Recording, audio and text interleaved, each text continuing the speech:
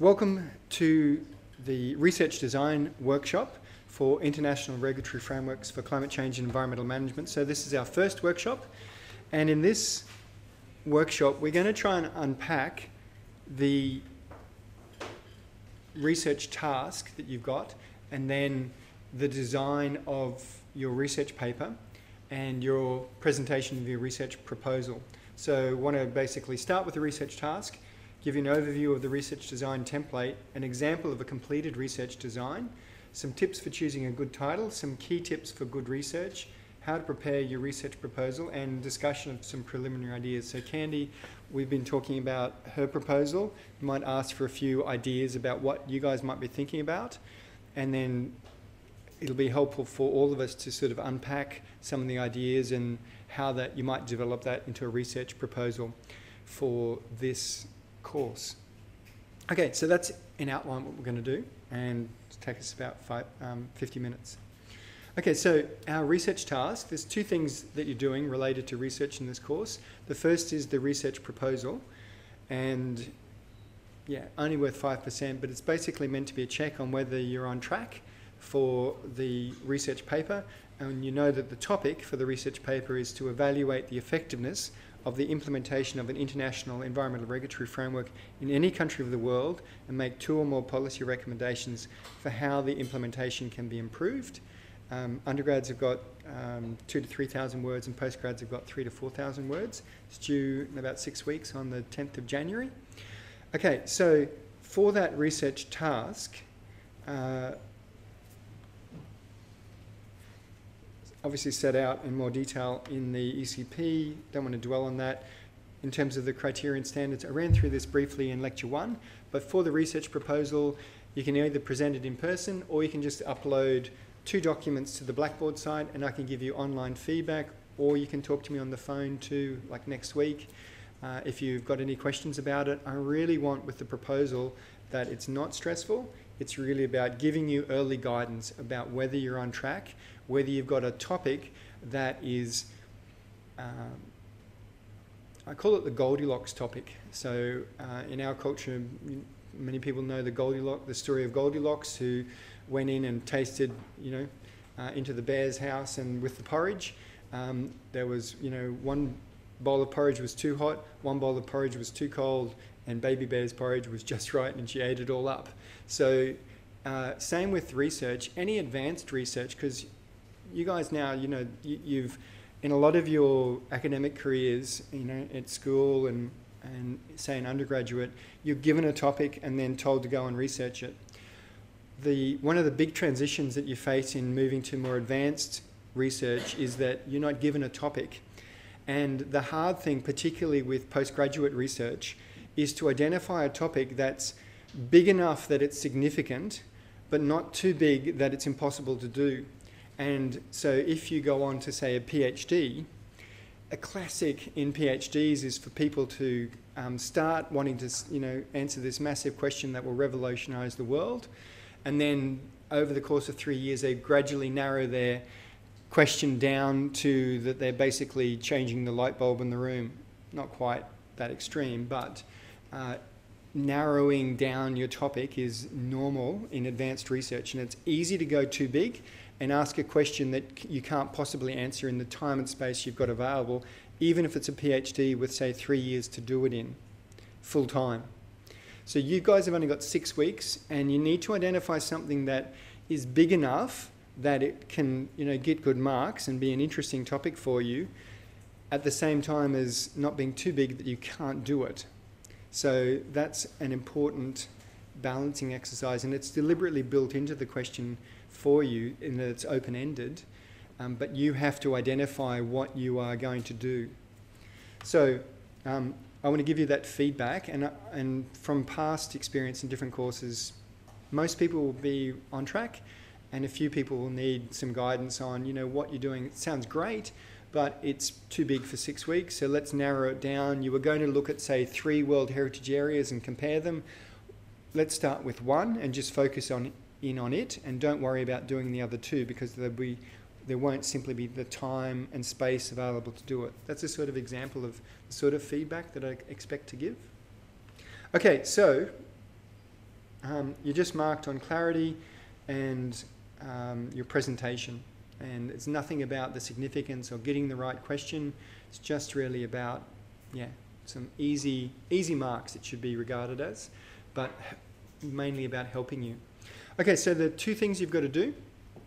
You've got to um, fill out this research design template. So this was something that I, uh, so again, it's on the Blackboard site. Um, the research design template, you can just open it up and you've got a Word document. So download it, put in your name, your email, the date in your course. Um, that just little research design diagram was just something from a book on research design that I liked about the research questions because in advanced research, uh, often supervisors will talk to you about what are your research questions. So identify what you're asking is a really important component of um, advanced research. So I've just put in some headings. Originally, I developed this for my own PhD, uh, and it was based on work in a couple of books, particularly Practical Research Methods and Real, Real World Research by Colin Robson. And so these sorts of topics just come from those books. So, what's your title?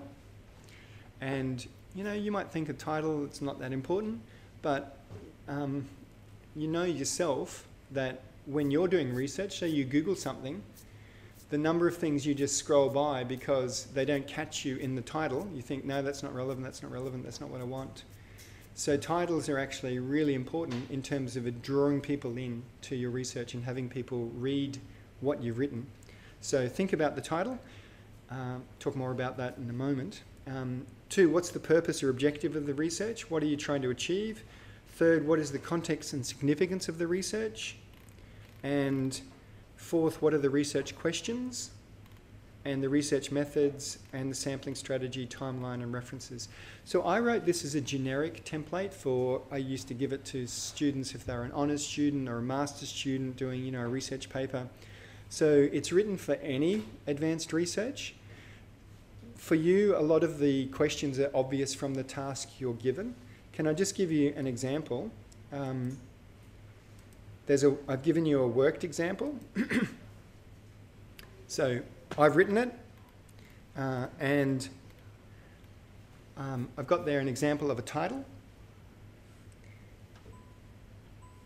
Um, conserving biodiversity in Queensland, and I've crossed that out and put the comment that topic needs to be narrowed because it's too wide for the time and space. So if I was looking at conserving biodiversity in Queensland and I had six weeks to research that and um, you know three to four thousand words to do it, then I can't do that topic in the time and space available. So um, the second title I've put is Evaluating the Effectiveness of Implementing the Biodiversity Convention, Regulation of Fire Regimes in Queensland, Australia.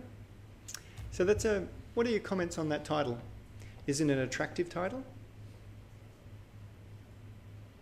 Not really, is it? It's pretty clunky. It's long.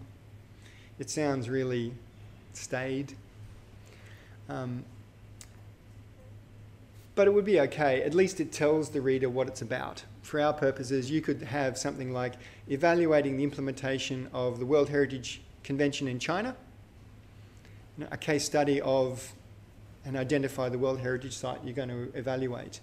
Or if you're looking at the Philippines, you know, I think of with the title, think of keywords in your topic and then just try and bring them into some catchy sort of interesting summary of it in 10 words or less. So if you're studying something in Australia, then the word Australia or Queensland should be in your title. Uh, and then, you know, if you're studying a particular species like um, black-throated finch, then, you know, put that in the title as well. So keywords that are going to attract in a reader that's looking at those things in the future. Okay, so title. What's the proposed objective of research? To evaluate the effectiveness of the implementation of the Biodiversity Convention focusing on fire management in Queensland, Australia. So that really comes from my topic I've given you. So you can pretty well take this template and copy across quite a bit of it um, to yours because you're basically doing the same thing as I've given you this um, example for. So the content and significance is important. So showing that your topic is actually important, why it's important, So try and explain the context and significance of it in you know a few points. So here I've said Article 8 of the Biodiversity Convention basically says um, imposes a general obligation on Australia to conserve biodiversity. Fire regimes are re regarded as important for many Australian ecosystems, and altered fire regimes uh, are recognised as a pressure on biodiversity, and there's a reference for that. There appears to be an important gap in Queensland for environmental regulatory framework because outside of the 4% of states in protected areas, there's little consideration of ecological matters in controlling fire regimes. Um, basically, we just burn things to reduce hazards to people and infrastructure. That's the main reason why we burn. And you can go out if you're a landholder and get a permit. And the main thing that they'll be looking for is, you know, you're not going to burn on a hot, windy day where the fire is going to, you know, burn out your neighbour's property. You know, your permit will be li limited to burning on, you know, virtually still conditions in relatively cool times, uh, so that the fire doesn't get away. So fire permits are issued to landholders, you know, not looking at okay, well, this is autumn, and you know there's going to be flowering and melaleucas in that time, and we shouldn't allow burning of it because it's going to reduce all of the the food that's available to you know butterflies and birds that you know depend on melaleucas. So we should limit our burning in these ecosystems at this time. Like that doesn't happen. So um, what I'm basically trying to set up in that explaining the context there is like it's recognized as important, but we don't do it. So there's a gap. So it's significant. Does that? And then I've talked about pressure state response. In tomorrow's workshop, I'm going to talk more about developing policy recommendations and we'll talk about different frameworks for evaluations, things like pressure state response uh, and the like. So I'll park that in policy recommendations until tomorrow. But you get the idea with significance. So why is your topic significant? So like um, Candy uh, is looking at doing, uh, so she's from China and she's looking at doing um, uh, air quality in Beijing. So an international framework that she might look at um, could be something like the Sustainable Development Goals. So it doesn't have to be a convention. It can be as broad as sustainable development or the sustainable development goals. So if you wanted to do pollution in your home country, you could use the SDGs and then look at their implementation or what is being done. And so Candy's interested in looking at um, air pollution in Beijing. And so, you know, the context of significance of this section could be things like, you know, Beijing is a mega city of how many people live in Beijing? let's just say 10 million, 20 million? 20 million, so 20 million people live in Beijing. Um, it's commonly um, regarded as one of the most heavily polluted cities in the world. It commonly has, you know, air pollution exceeding World Health standards by X. You know, there is seen to be 200,000 premature deaths per year due to air pollution in Beijing. I'm just making those statistics up, but you know, you could set that out in terms of context and significance and put in something about like the Sustainable Development Goals. Uh, under the Sustainable Development Goals, this, um, China has agreed to, you know, address um, pollution concerns and health concerns for its population. So see how the context of significance then becomes pretty obvious. It's a big problem affecting a lot of people, and it's a, you know, it's a big deal. Everyone happy with that? Um, okay, so what are the research questions? And you could pretty well just copy the two that I've got there because your question has two components. You have to evaluate the effectiveness and you have to make two or more policy recommendations. So your research questions can just basically be turned into whatever your topic is, but in those two components. So how effective in conserving biodiversity is the current regulation of fire regimes in Queensland? Is my first question. And then how can the current regulation of fire regimes in Queensland be improved for conserving biodiversity. For Candy's problem in Beijing, it could be, you know, how effective is China's regime for controlling air pollution um, uh, and implementing the Sustainable Development Goals for air pollution? Um, how can China's current um, regime for air pollution be improved? So they could be the two questions, two parts of the task you've got Does that make sense? So research questions are important, particularly for the next step, because what when you look at advanced research and people say, well, you know, come up with your research questions, that's the first step to then identifying how you're going to answer those questions. So, and you answer them through your research methods. So typically in the past, you might have used just a literature survey. So, you know, you've gone to the library, you've done a Google search of the topic, you find what other people have written, and you write it up. So in advanced research, you typically ask to go out and find some new data. So not just look at what other people have written, but bring in some new information and say something new. And that's a really important part of your marking criteria for this and what I'll really be looking for. So there's different ways you can do gather primary data. You can go out to the field. So Candy might go back to Beijing, get an air quality meter, and over 10 days measure, you know, ppm 2.5 or something, um, and then plot, plot that in, you know, in her paper. And she says on the 10 days that it was measured, Beijing's air pollution grossly exceeded the um, the international standards and I compared it to the government website about air pollution, and the government website said everything was fine. Uh, and there is this mismatch between what I, what I measured and what the government was saying, uh, and this has huge implications for health. You know, and then you can see how that's going to lead on to some recommendations about, you might you know, lead on to a recommendation about how government monitoring needs to be improved or something like that. Does that make sense? Okay, so the research methods there's many different research methods. You can go out into the field and actually measure something. Uh, another common method, what are the other common research methods? They're commonly used. Okay, I'll give you an example of one. Who put your hand up if you think that a healthy environment is important? Okay, have we got any hands down to that question? Okay, so we've got universal agreement. So what have I done with that? What was my, my uh, if my question was, what are public attitudes? Let's just say I want to gain an understanding of public attitudes to a healthy environment. So what research method have I just used? A survey. Um, now, in our class, we've got, you know, my research question is about global attitudes. So what is a good thing about my survey of our class? We've got lots of people from around the world. So what's a bad thing about my survey in terms of bias? Age? I actually hadn't thought of that one, but yeah, you guys are all spring chickens, like old crusty like me. No, I hadn't thought of age. We're all studying a course on environmental management.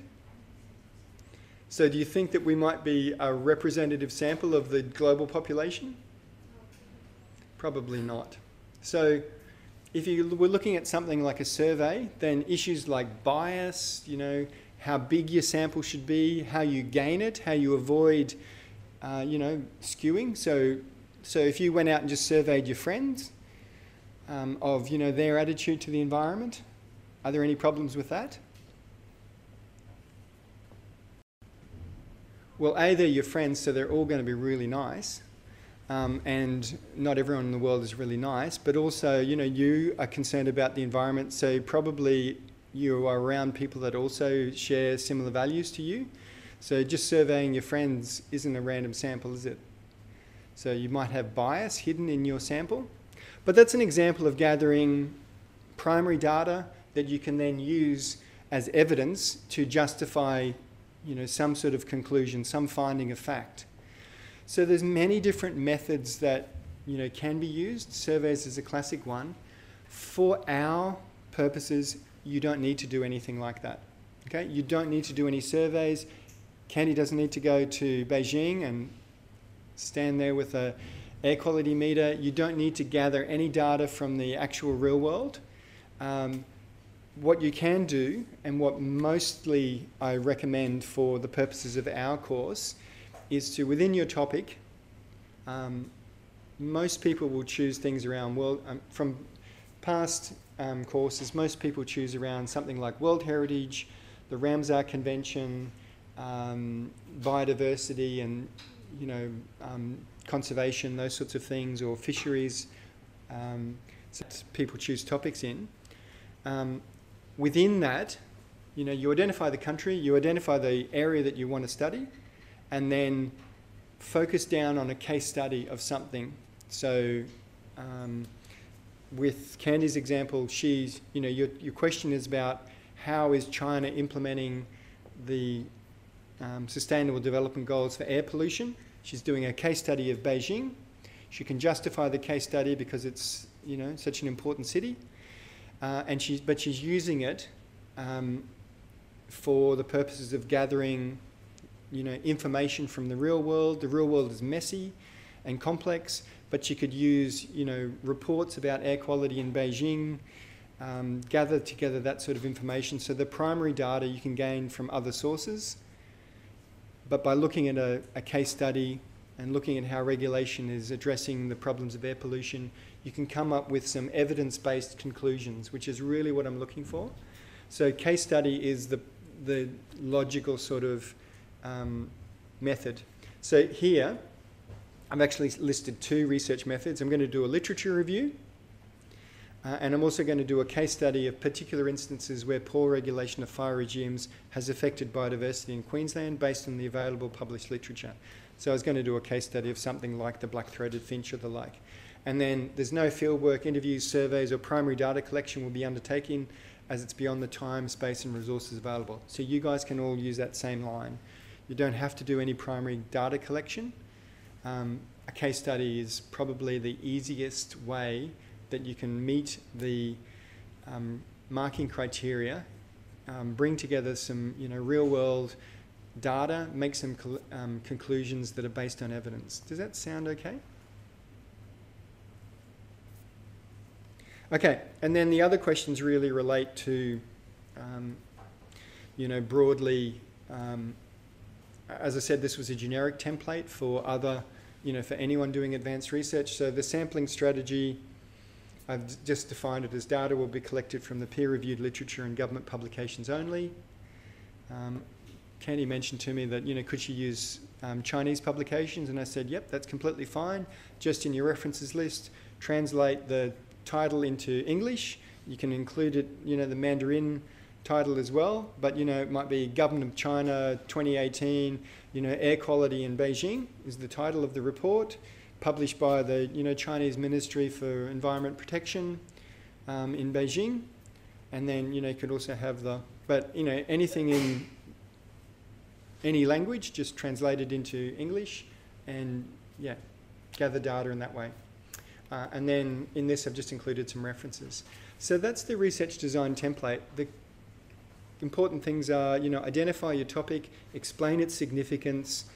Uh, the research questions really fall out of the task you're given, and the research methods case study is the easiest one. But I just want you to be thinking about, okay, those issues because they're, um, if you haven't like done a lot of advanced research, those research questions and then choosing your methods are a critical step. Uh, and the basic thing with the um, questions and the methods is they should match. If your question, your methods basically should give you an ability to answer the question you're asked. And if you don't, if you can't see that in the research design, then you've got a problem. Either you've got to narrow the question or you've got to change or add to your methods. So I'll say that again. So if you've got a, say your question was, what are the global attitudes to the environment and you are going to survey, you know, you decide you're going to do a survey of um, people in your street, and let's just say you're an Australian, you're going to walk down the street and survey people, then your question is about global attitudes, but your survey is limited to an Australian audience. So there's a mismatch between your question and your method. And that's a problem for your research design. Cool? Okay, so that's the research design template. Any questions on that? And you'll, I'm sure that you will have questions as we go along, but again, it's um, you can email me, talk to me in class. Uh, does anyone have an idea uh, about what they run through Candy's one? Does anyone else have an idea now about the sort of topic that they might be, you know, interested in?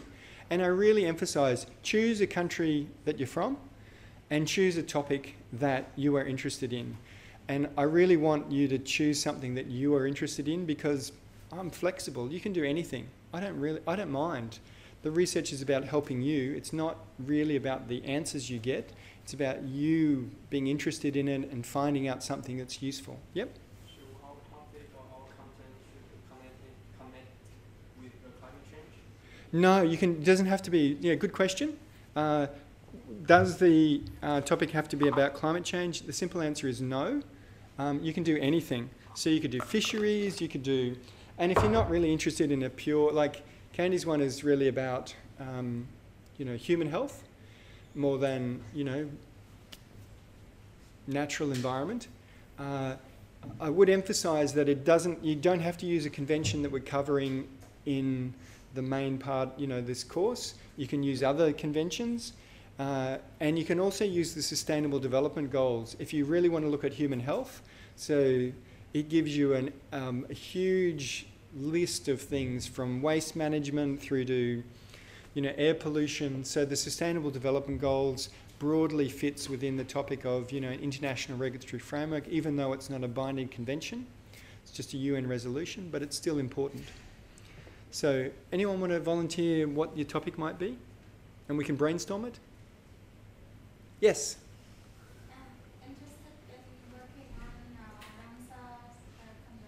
Yes, and which country are you from? Ramsar Convention? You're from Cambodia? Yep. And so Cambodia's uh, signed and ratified the Ramsar Convention, I'm sure. Um, do you know any Ramsar sites within Cambodia? Yeah, I know. I would like to ask, for example, Ramsar site in Cambodia are for locations like, uh, like uh, in Ramsar Convention. Yes. Should I only choose one site or have to? Do you know how many sites, um, Ramsar sites? There's four Ramsar sites. And do you work in the area in Cambodia? Are you working for government or working in Ramsar Convention? Uh, No? no. I'm I'm for um, non non-government organization. Non government organisation? That's great. Doing the research with Okay. So immediately, I think, okay, you're from Cambodia. That's fantastic to then choose Cambodia because you won't have any language or cultural problems or barriers. Um, second, uh, there's four Ramsar sites, so it's already great that you've okay. You've got your country. That's easy. You're interested in Ramsar, so you've got that convention. That's easy. You've got four sites. Um, so choose one of them, and I would recommend choosing the one maybe that you've visited or that is closest to your home or in some way that you think is really interesting. And so your broad question is, how you know how effective is Cambodia in implementing the Ramsar Convention? And then you are going to um, evaluate or answer that question through a case study of one of the Ramsar sites within Cambodia. And so you're just going to look at that one and say that either that's representative or there's some reason why it gives you useful lesson, lessons for how um, Cambodia is doing. So that sounds like a really, you know, if, if you gave that to me in a research proposal, I would be saying, great, you're clear on what you're doing, that sounds achievable, uh, and fine, tick to that as a topic. Does everyone see what we've done there? So we've just identified the country, we've identified the convention, we've identified how we're going to, you know, examine the topic, and narrowed it down to something that's achievable. Anyone else? I just have a question. Um, when we are evaluating the conventions, do we have to be as specific to um, evaluate each article, No, you don't. Uh, so, great question. Uh, so, do you have to evaluate each article? Um, are you thinking about a particular convention? um, I'm not really sure yet, but like well, you just want to learn about today. They've got lots of articles, so do we, do we pick particular ones? Sorry, great question. Um, uh, do you have to pick one? Often the conventions really boil down to some broad um, you know, obligations. So you could really just look at one of the obligations under it if there were multiple ones. Uh, often you'll also find that, say, say you wanted to look at biodiversity conservation in a particular area, and you might be looking at a World Heritage site, and there are obligations imposed under the World Heritage Convention. There's also obligations imposed under the Biodiversity Convention. If it's a coastal marine area, then there's also obligations imposed under UNCLOS. So there are multiple obligations that are technically imposed upon it. And how you would deal with that is just identify that there's multiple obligations and that you are going to focus on, say, the World Heritage Convention because that is the most significant, um, because it's a World Heritage Site that you're looking at. Um, so there can be multiple obligations, but generally they're all consistent. Yeah, does that make sense? Other questions? Okay, I'll keep moving along. Um, and if you think about, we'll have more opportunity to talk through ideas as we go. So don't, um, if you've got an idea that it's sort of growing, then let it grow and we'll come back to it. Okay, so that's the template. And um, also um, want you to produce some slides. Um, they, it can be a PDF, but you know you could do it in PowerPoint and then just convert it to PDF and upload it.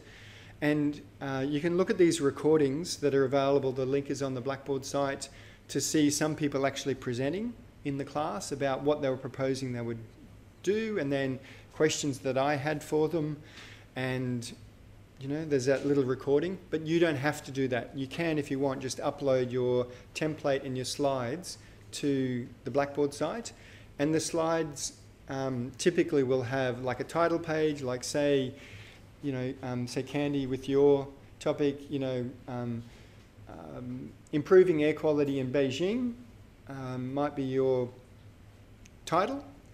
And um, you know, you've got a picture with that title on it and, you know, your name and a picture of, you know, Beijing really smogged out, you know, where you can't even see the buildings and, you know, it's obvious why that's an important topic, um, you know, in terms of communicating. Then your next slide might be a picture of China, identifying where Beijing is. Uh, and then the next slide might be, you know, a graph showing, you know, air quality in Beijing and how bad it is. Uh, and then a slide, another slide of, you know, another picture of Beijing showing, um, you know, again, you know, smoke billowing out or something like that. So it might only be, say, five slides. Um, you don't have to repeat all, all the, of the questions and text because I've already got that in the research design template. I just want you to think about how would I present this visually. So the slides are really just a visual presentation. I've got the text, so just at least a map and a few relevant pictures. Does that make sense? Cool. Um, I've already answered that question in lecture one.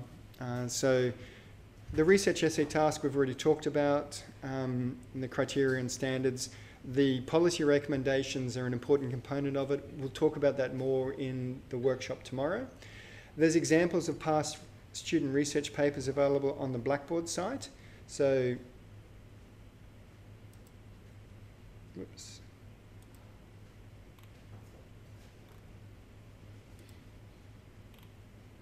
So yeah, if you go to the research essays,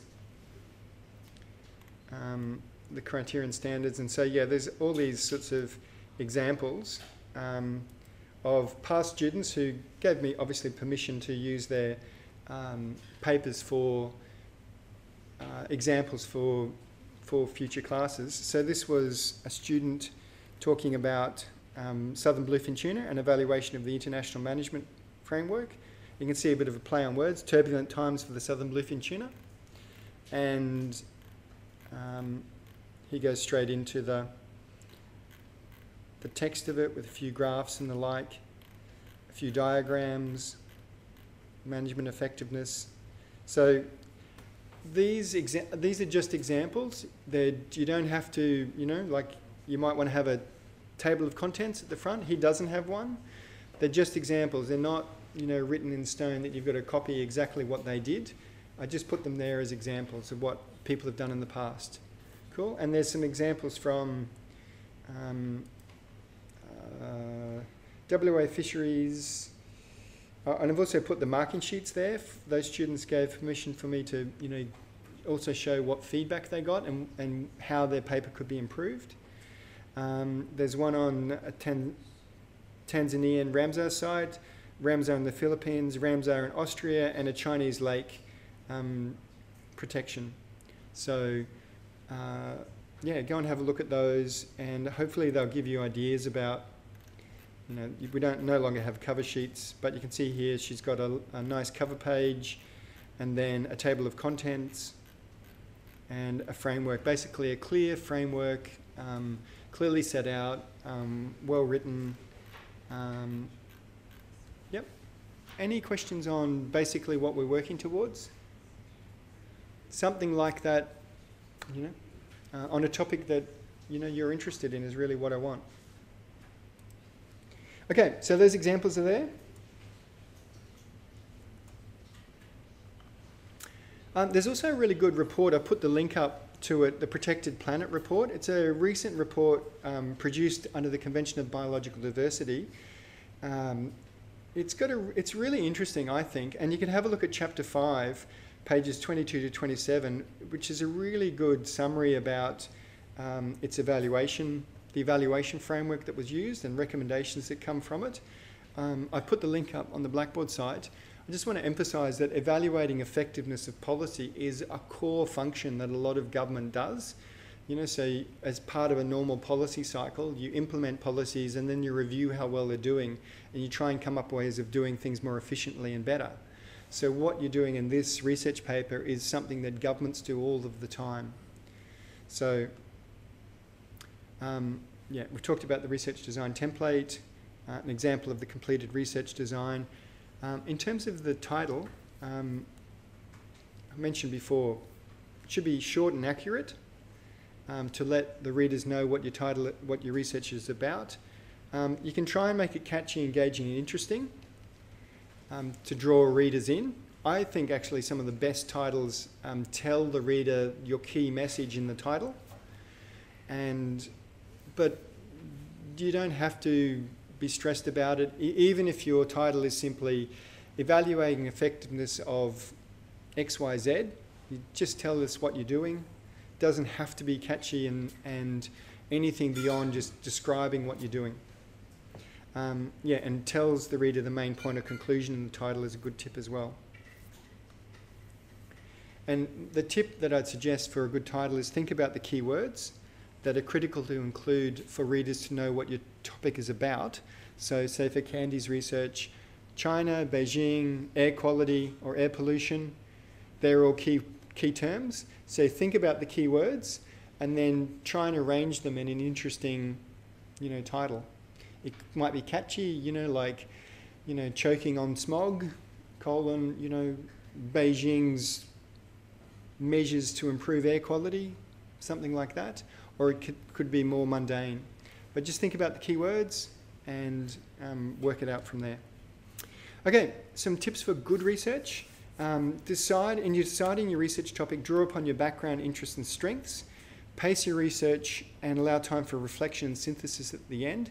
So please don't get to like you know finishing at the night before. It's really good if you could at least finish it a day before and you know just put it to one side and spend a bit of time synthesizing because that's when you get valuable insights when you've finished your literature review you've finished your case study and you're thinking how can this be improved what are the recommendations that i can make that will really make a difference knowing the culture that you know affects government in this area um, what can i do so synthesize and reflect it's really important and you won't get that if you're finishing you know actually writing at 3 a.m the day before it's due. Um, yeah, go beyond merely a literature review and use methods that involve gathering and presenting data and information about the real world, so a case study. Um, and the methods you choose should be capable of answering the research questions you've asked, and your conclusions and recommendations should be justified by the information and data you present in your research paper. And that's the most common feedback that we give is that to people is that your conclusions are not justified by the information you've presented. So there's got to be a, uh, you know, your, your research has got to make sense. So if you identify a problem and that's reflected in a recommendation. But if a recommendation just sort of appears in the list of recommendations, but there's no evidence that that's a problem in the body of your research, then there's this mismatch between the evidence you've presented and why you made this recommendation. So they should match up. Um, yeah, draw upon your background strengths. Um, so play to your strengths. So you know, choose a country you're from, where you don't have language barriers. Maybe an area you've worked in. As an example, this was a student a few years ago, Carl French, uh, and he was really into turtles. Uh, and conservation, you know, volunteer work. He was working for Queensland Parks and Wildlife Service, so he was working in Gladstone. He was a project officer for uh, Conservation Volunteers Australia. He just completed a re-veg project. Um, and yeah, he was really into turtles. So his topic was about turtles. So play to your strengths. Choose something that, you know, if you're interested in it, if you already know something about it, you're already a long way into your research. So you can get quickly to an advanced level. If you're choosing a topic that you know nothing about, that's okay, but it's going to be hard for you to do really well in it because you've got so much ground to make up. So choose a topic, play to your strengths, is how I'd say it. Uh, you pace yourself, and I like to aim to have a complete working draft finished a week or at least a few days before. I hate trying to, particularly with court, I hate finishing a document on the day it's due because there's always errors in it. It's great if you can finish it the day before and then reread it the next day and then fix up those errors and then put it in. Yep, so go beyond merely a literature review. Use a case study would be the main method that most people will use. And yeah, an in-depth study of a particular situation rather than a sweeping statistical survey. So, you know, if you're looking at Ramsar in the Philippines, choose one of the Ramsar sites and look at things like the pressures on it, what's its current state, how well is it being managed. And yeah, so in my PhD, I looked at um, a case study of, I, was, I looked at laws, evaluating the effectiveness of um, environmental law was my topic. And I did a, a chapter of my PhD was looking at um, a case study of laws protecting the Great Barrier Reef. And what I did in that was a, what I call a nested case study. So the case study was about laws protecting the Great Barrier Reef. Then within that, I did a catchment because the Great Barrier Reef is such a big area. I did a particular catchment. And then within that, I did a particular development within that catchment. So can you see? And I justified each step. I justified the first one by saying the Great Barrier Reef is a really important and valuable and useful as a case study in its own right. Um, the catchment I chose, I justified on the basis that it was representative of catchments elsewhere along the reef, and then the development was also representative of development in the catchment. So I justified each step down, but it meant that instead of trying to do every development in the entire coastline for the last 20 years, it brought the research down to a manageable level. So fieldwork is encouraged but not essential. Here's a student of mine, Jamie, uh, up in the Burnett River looking for invertebrates um, for, as part of her honours study. Um, so if you do want to do fieldwork, please let me know because uh, I want you to be safe and there might be some workplace health and safety issues and the like. You don't have to, but if you are, if you want to, please let me know. So if, for instance, if you want to, if you want to do sort of the Moreton Bay Ramsar wetland, and you want to go out and you know take some pictures of the like, I'm not you know worried about that. But you know if you're going to do something that's you know involving risks, then let me know. Um, and yeah, there's plenty of data published. But something like that, going out and taking a picture of the site you're studying, fine. Or if you're going home for the holidays and you're going to you're able to visit a site, then sure, go and take some pictures there. But you can also get them off Google Earth um, you know, so take pictures and those sorts of things from there. So yeah, the methods you choose should be capable of answering the research questions you've asked and be wary of bias in any method you choose. So I just want to wrap up. Um, yeah, for your research presentation, complete the two documents. You can either present it at the end of next week or you can upload it to the Blackboard site and two to five slides basically explaining your topic in pictures. with a map. And you either hand it up when you present it in person or upload it to the Blackboard site. Um, just about out of time, but does anyone have an idea that they wanted to, you know, that your potential um, topic? We've worked through Candy's, we've worked through um, Philippines example. Can you see how, for both of those, we just wanted to identify an international framework, um, then identify a case study within that that we're going to use, and that it, you know, makes sense and that it's capable of basically being answered in the next six weeks with the time and space and resources you've got available. And if you can say yes to all of those things, then I'm going to say that's a fine topic. And whatever you do within those framework, I'm happy with. So that's our research design workshop. Are there any questions at this point?